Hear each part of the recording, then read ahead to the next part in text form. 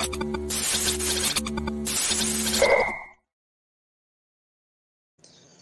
hey everybody, and welcome to AT&T Stadium in Arlington, Texas, the 88th Cotton Bowl, just a couple hours away from kickoff. We're thrilled to be here with you on Buckeyes Now, part of the Fan Nation Network in the Sports Illustrated Media Group. If this is the first time you've ever joined us, and we know there are always new viewers and new listeners along the way, we certainly appreciate you jumping on. I'm Brendan Gulick along with Anthony Moeglin. If you are a regular, we certainly appreciate your continued support. You can find us on our YouTube channel where you can subscribe there, and certainly all the uh, all the news and info you need on the team, especially leading up to kickoff and tonight immediately after the game, available over on BuckeyesNow.com. Anthony, this is uh, a game that has a weird feel to it for some because I think if we're being honest about it, it's Missouri Super Bowl, right? Yeah. This is a huge platform for a Missouri team that's very, very good. And in some ways, for Ohio State, despite it being the exact same game with the exact same stakes, it has a little bit of a consolation prize feel to it.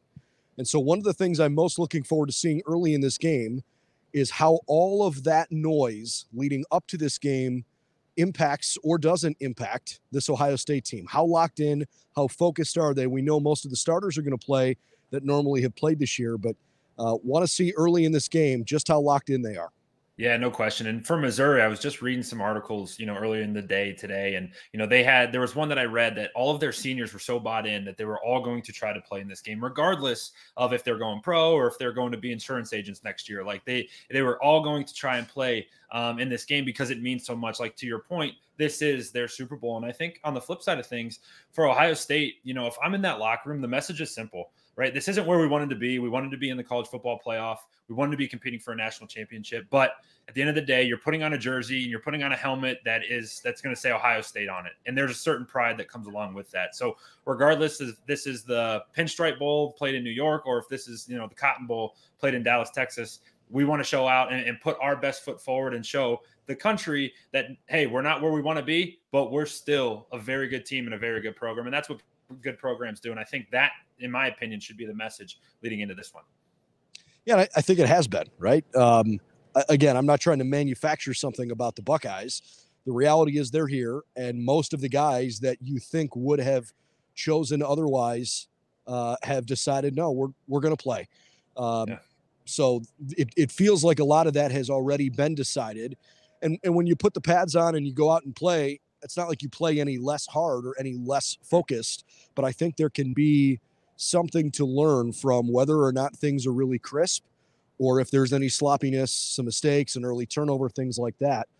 And obviously, one of the big storylines coming in here is going to be Ohio State's quarterback Devin Brown, right? He's mm-hmm. he's getting his first opportunity as a collegiate starting quarterback to play in an enormous, gorgeous facility. You know, some would argue the nicest facility for football anywhere in the country. Uh, and he's going to do it in front of a fan base for Missouri that really, really wants to win. And I'm sure the Tigers have traveled well and will be loud in here. And and by the way, regardless of his opponent, he's got to make a good impression because Ohio State, you know, if, if they can go into the offseason feeling really good about Devin Brown being their quarterback, feels like that's a totally different tone than if he doesn't play well today.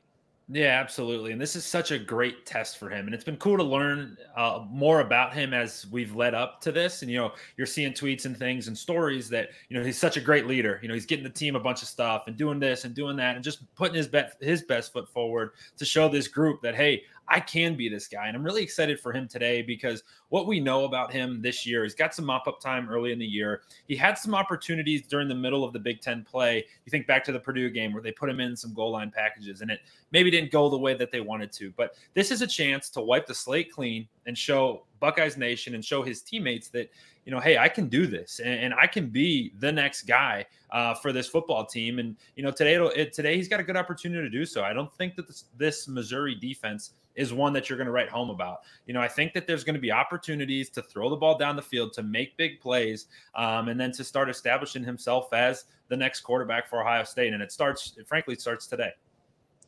It does, and and he's, I, I don't think he's going to have his top target. Uh, you know, on this team all season available. Nobody has said anything publicly about Marvin Harrison Jr. playing or not playing.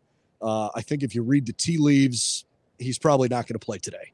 Um, Marvin's been here with the team all week. This this has that that Chris Olave feeling for me from a couple years ago in the Rose Bowl, where there was no way he wasn't going to be around his teammates. Uh, Marvin was in, you know, Ohio State branded street clothes during practice, riding a bike, just being around, wants to be here. But you know, ultimately, I I think he's going to make the decision not to play. Um, I guess we'll find out for sure in a couple of hours. But everybody else is pretty much expected to play in terms of those who might opt in or opt out. Mm-hmm. I don't necessarily expect, unfortunately, Tommy Eichenberg to play, um, learning that he is pretty banged up. And I hope he plays. I would personally be a little surprised if Tommy was in street clothes on the sideline. He just seems like the kind of kid to me that even if he's not going to get in the game, that there's no way he's not going to stand on the sideline in, in full pads and a helmet and at least helmet, have yeah. the feel like he's right there. Um, but I I would be a little surprised, kind of what I'm hearing that that you know I don't think Tommy's going to play. Beyond that, I sort of expect everybody else to be out there on both sides of the ball, and that's good news for the Bucks. It's great news, and it's funny. I, I, laugh when you talk about Tommy, but he's just one of those guys. He's football through and through. So have his helmet strapped up, ready to go. But you know, th- this has the feel to it. You think back to the Rose Bowl game a couple years ago um, against Utah, where you know it was the Jackson Smith-Njigba coming out party, and that's like the fun part for me is that um, when you watch Ohio State year over year, it's never, it's always just a reload um, at every position, right? You know, you, are going to lose guys like talking about this receiver room. You'll lose Marvin Harrison, sure, but who's going to be next? Who's going to be that guy that that comes in next year and that we get really excited about? You know, there's going to be a great, you know, a bunch of great names that that could put throw their name in the hat. Um, and I think that, like I said, this is a good opportunity to do so because I don't love this Missouri defense, um, and that's what I'm really excited about. You know, everything's going to kind of sort itself out, but I'm excited to to find out who's next for the playmakers uh, for for Ohio State coming up in 20, into 2024. And Missouri's defense, in addition to have not, you know, necessarily put up gaudy numbers, they've been good, but they're not elite. Uh, and they're a little shorthanded, missing a couple of key guys today. So I think that will impact them as well. Um, you know, Ohio State, when their defense is out there this year, there have been very few teams across the country that have yeah. statistically performed better. You know, you're going up against a team that you've had a month to scout. And uh, as you pointed out on the offensive side, you know, it's it's basically I, I don't want to call it entirely a three man show, but there are three guys statistically that jump off the page. Brady Cook's a really good quarterback. Cody Schrader's had a terrific season, truly one of the most accomplished running backs in the country. Uh, and Luther is a hell of a wide receiver, and he's going to be a mm-hmm. difficult matchup. It'll be fun because we haven't seen this Ohio State defense in about a month, right? And it's like we're, we got so used to watching them every week and watching them dominate. And this is truly a, a great test for them. This Cody Schrader kid is very good when the football's in his hands. He's a little bit on the smaller side, but he still makes big plays. You he's first team All American, has 13 touchdowns on the year, um, just over or just at 1500 yards. He's got 1400 or 1499 yards on the season. So he makes plays happen.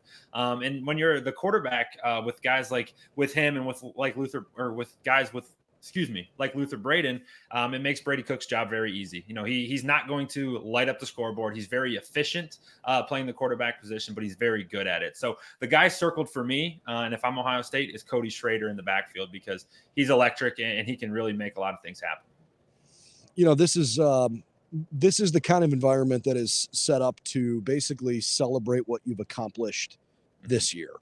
But it's been very difficult, I think, for Ohio State fans to be too locked in on what's still to come today because there are still so many questions about what you're going to see next year. Obviously, National Signing Day just happened, and it was a bit more of a dramatic, although successful, dramatic signing day, maybe more so than normal. Um, you know, the quarterback question is an important one for sure. There's probably going to be changes, I think, on Ryan Day's staff. How many and how soon? I guess we'll wait and see.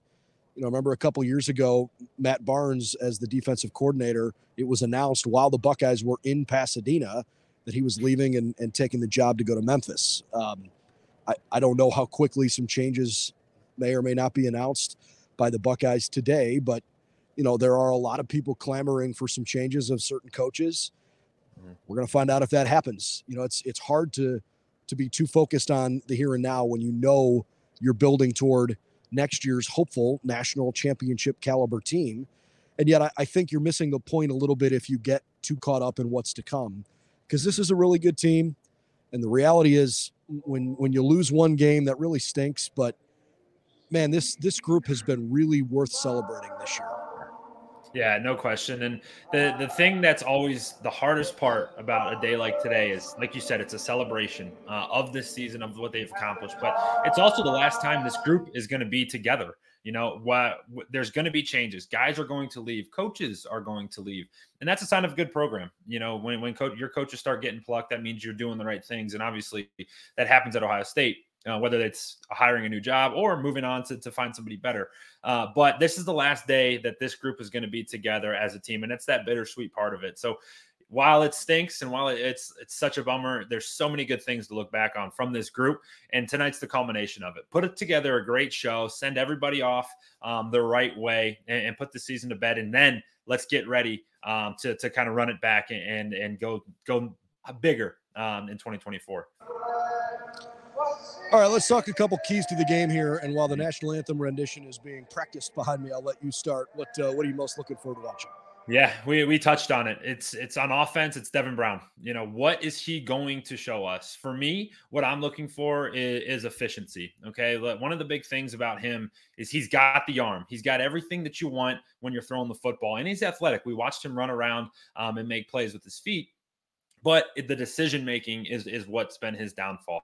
I'd love to see him be making really really good decisions today, delivering the ball where it needs to, and make, then using his athletic ability and using his arm uh, to make big plays. That's kind of uh, when he's on the field. That's what I'm looking for. When the defense is on the field, I'm excited to see how they stop Cody Schrader. You know, this, like I said, I, am a fan of his just from watching from afar. Um, he's fun to watch with the football in his hands. What is Ohio State going to do, and how are they going to going to stop him? Obviously, you're going to be down uh, Tommy Eichenberg potentially, uh, as you mentioned, but what are they going to do um, to to stop this, uh, stop him? Um, because he can get you in the pass game, he can get you in the run game. So I'm excited to see that. And then the last note that that uh, that I'm looking for, I touched on it who's next up for Ohio State? Who's going to be that next guy, that next Marvin Harrison Jr., that next Garrett Wilson, that next Jackson Smith-Njigba? Who's it going to be?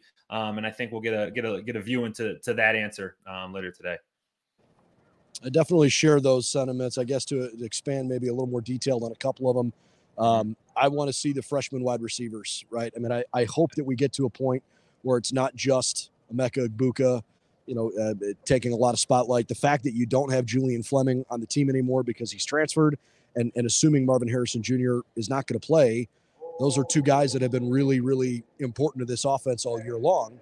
So the question becomes who gets the majority of those next reps. And history would tell us Carnell Tate would be first up there, but beyond him, it's a Brandon Inniss, is it Noah Rogers? Who who slides in next? Um, because that group is ridiculously talented and, and you know always the group that uh, Buckeye fans want to pay attention to. Uh, I hope TreVeyon Henderson puts on a good show today. Um, I'm very interested to see what TreVeyon's decision is regarding his status for next year. Is he coming back? Is he going to go to the draft? Um, I have my personal feelings, but I'm going to leave that out of that today. I think TreVeyon is a terrific running back and uh, I, I hope that he plays his heart out for Ohio State tonight. His speed is really difficult to match, even though they've done that certainly with some some quick backs in the SEC. Uh, he is a very dynamic weapon for the Bucks, and when they get him in space, things look really good. So I'm looking forward to watching him play. And then on the defensive side, specifically at linebacker, you know, Cody Simon's already announced he's coming back, and and that's a huge asset for the Bucks next year. But when he's not on the field, if Tommy, or I should say, I guess when Tommy Eichenberg's not on the field, is it basically just going to be Cody and Steele Chambers? Do we see some CJ Hicks? Does Gabe Powers get some opportunities?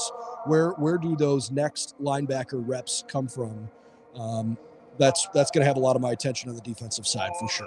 So, looking forward to a really fun day, man. The 88th Cotton Bowl just a, a couple hours away. Can't wait. I would say would add to outside of the football. It's pretty sweet looking at you and Jerry World on the field right now. I mean, this is a stage that's unlike anything ever, and I know you've been able to get to walk around and see some things, and it's just that's awesome. That's an awesome environment. It's going to be an awesome environment for some college football, and uh, I'm excited to watch it. It's truly one of the great cathedrals in uh, the United States for this great game. There are very, very few places that are as special as this one and uh, I know it's not what the Buckeyes wanted, but it's the opportunity they've got. And Ryan Day made it very clear yesterday at that press conference that he wants to win, and the Buckeyes are here to win. So uh, let's see if they can get it done against a very talented Missouri Tigers team coming up in a couple of hours. For Anthony Moeglin, I'm Brendan Gulick. Thanks for joining us pregame here at AT&T Stadium. Can't wait to get this one kicked off in a couple hours. We've got all the latest news and info for you that you need over on BuckeyesNow.com.